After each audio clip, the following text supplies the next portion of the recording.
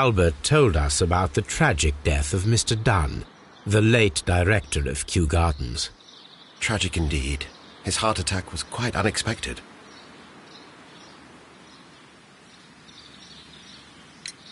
Would you unlock the doors for us? Do you expect to find the stolen plants there? I am sorry, but those rooms are private.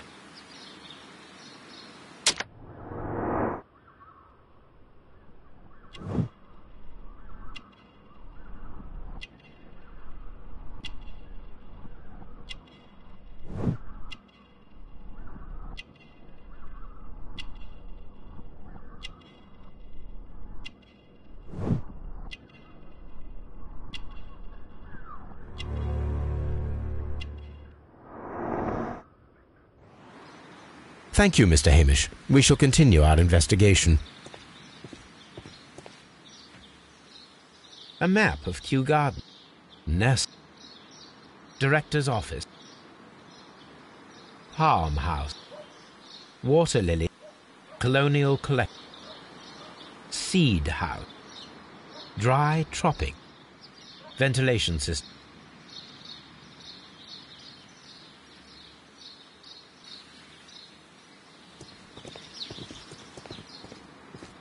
Locked.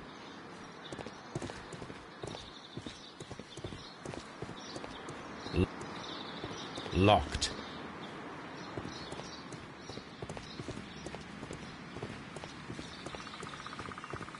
Nursery.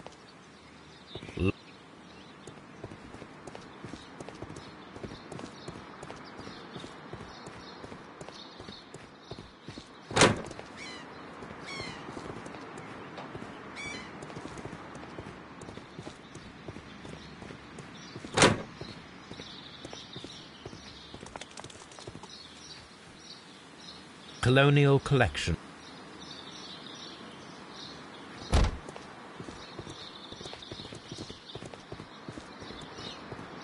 Locked.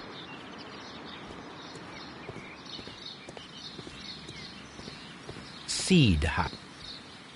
Locked.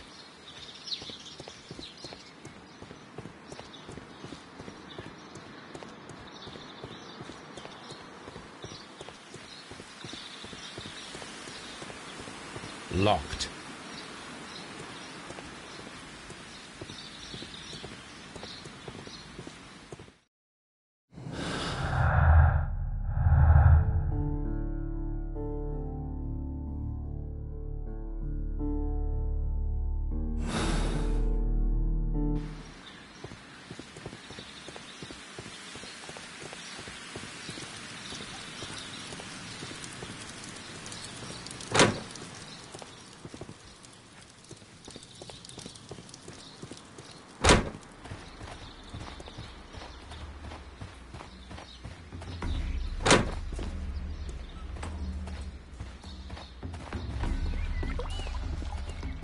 Water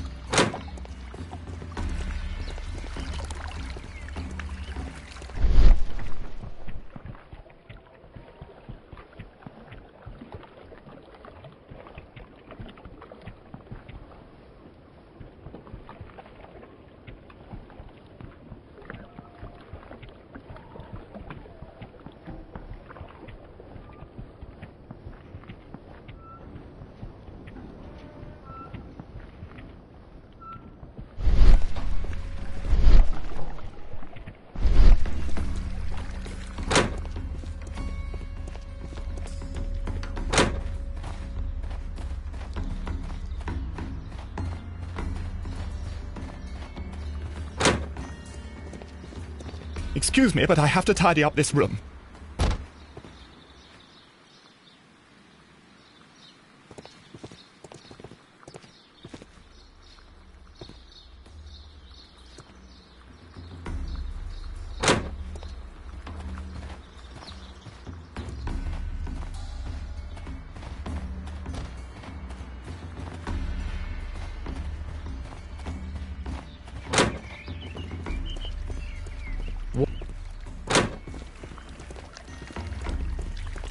This sign is broken. Something heavy was dropped upon it.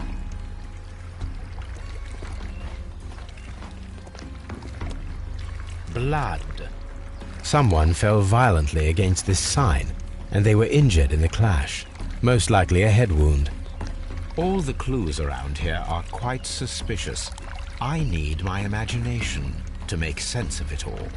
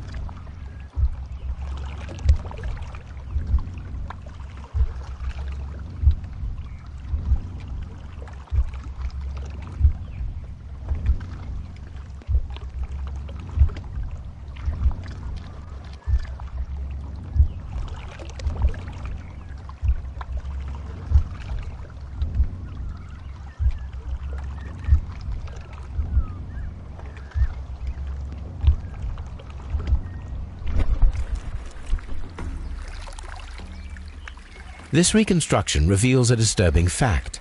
Montague Dunn damaged the door of the Colonial Collection Room. He was in a panic, or the door was locked. Was it an accident, or a murder then, I wonder?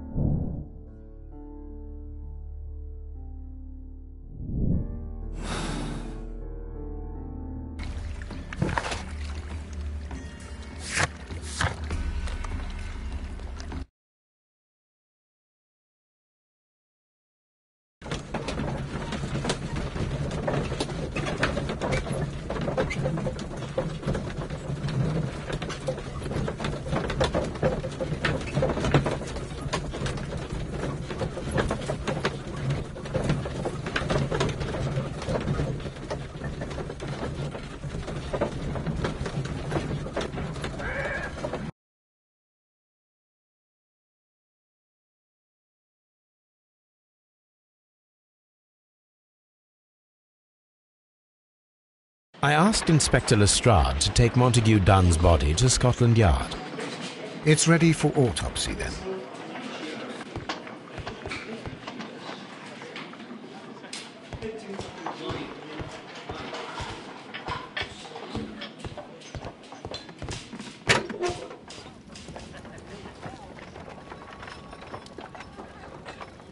This watch is of great value.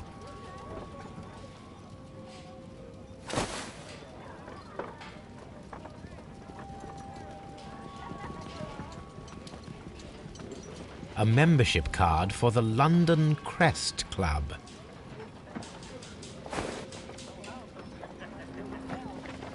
A beautiful feather pen of a good make.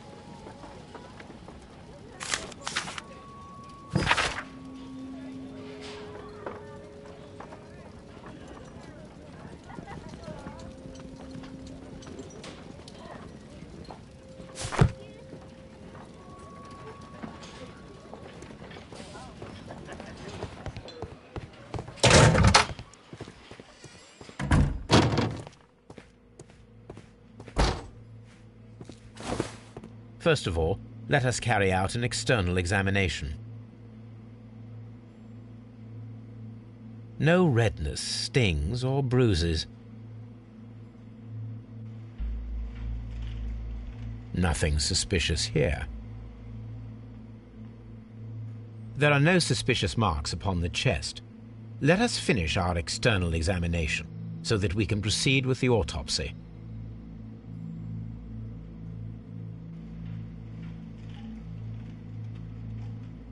The air from the lungs carries a faint floral aroma. Hmm. The vessels and the pupil of the eye appear quite normal. There is an injury to the skull, most probably caused by the fall in the water lily greenhouse. Now, let us examine the internal organs.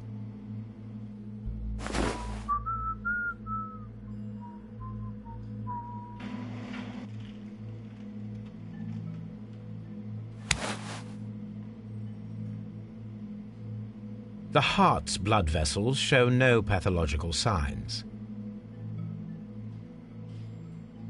The heart tissue shows no visible pathological signs.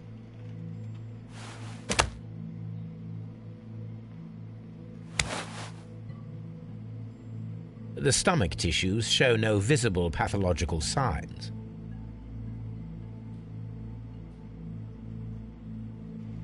There is a small amount of content. It appears that he breakfasted lightly, only a short while before his death.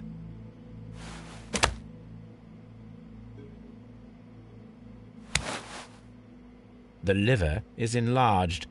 It would seem that he was suffering from an alcohol addiction. The liver tissue is brown. There are no visible pathological signs. The lungs are congested and edematous.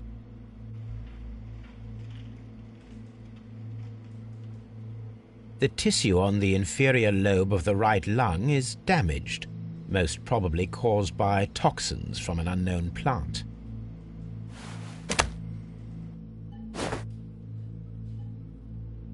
My suspicions have been substantiated. Montague Dunn, the director of Kew Gardens, died from poisoning, plant poisoning to be more exact. You mean Yes, it is murder. we should inform Lestrade? Yes, but do remember, Watson, that I discovered the murder. The challenge is mine. The challenge, Holmes? We need to locate that deadly plant. Such a perfect murder appeals to me. Murder of any kind appeals to you. Is that all we need to do? No, we also have the people working at Kew Gardens Martin Hamish and the son of the victim, Albert Dunn. And also Miss White, of whom we spoke with Mr. Hamish. Should we bring them all here for interrogation? No, a few innocuous questions at Kew will suffice, as well as a discreet delve into their personal affairs. Yes, Watson, it is time now to open the doors. Even those in the staff building. I suppose that is necessary. We should also be concerned with the victim himself. After all, we don't know very much about Montague Dunn. You're enjoying this already, aren't you? More than a little.